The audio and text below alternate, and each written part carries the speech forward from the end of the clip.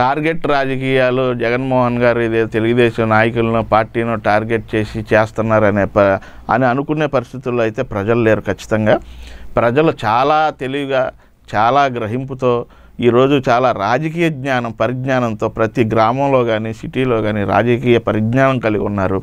రా ఈరోజు జగన్మోహన్ రెడ్డి గారు పెట్టిన పథకాలు కానీ మరి ఆయన చేస్తున్న ఎన్ని పథకాలు అండి ఒకటా రెండా వందల పథకాలు. మరి ఎవరైనా నాలుగేళ్ళు ఐదేళ్ళు కూడా పట్టే పథకాలు సంవత్సరం ఆరు నెలలు ఎనిమిది నెలల సంవత్సరం సంవత్సరం లోపు ఆయన అనుకున్న నవరత్నాలు అన్నీ మ్యాక్సిమంగా ఆఖరికి మద్యపానంతో కూడా ముందే చెప్పాడు నేను షాక్ కొట్టే రీతిలో మద్యపానం ధరలు పెంచుతాను అని. అదే షాక్ కొట్టే రీతిలో ఆయన ఆ రోజు ఏదైతే చెప్పాడు దాంతో సహా మొత్తం అన్ని ఎక్కినాయి. ఇంకా రెండు రోజులే వంద సమయం ఇళ్ళ పట్టాలు కూడా కార్యక్రమం కూడా వెళ్ళిపోతుంది.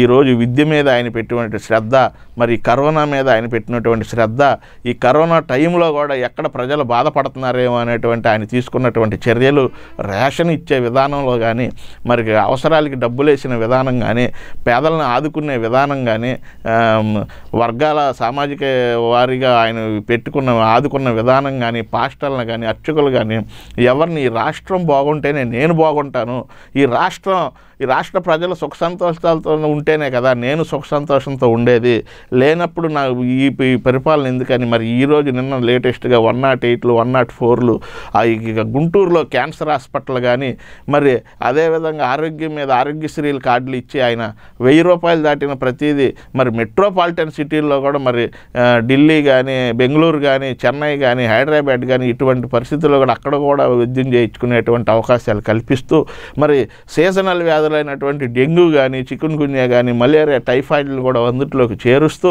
మరి ఇన్ని కరోనాకి ఇన్ని వేల టెస్టులు రోజుకి వేల టెస్టులు చేయిస్తా కరోనాని మరి పక్క రాష్ట్రాలతో పోల్చుకుంటే ఎంతో చాలా జాగ్రత్తతో చాలా ఇదితో చేస్తూ వెళ్తూ ఉంటే ఈరోజు రోజుకొకటి ఎవరండి?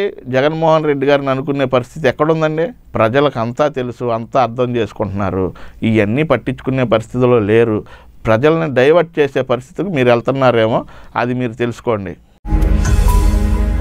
ఈ వీడియో గనుక మీకు నచ్చినట్లయితే లైక్ చేయండి షేర్ చేయండి. మరిన్ని వీడియోస్ కోసం మా ఛానల్ను సబ్స్క్రైబ్ చేయండి.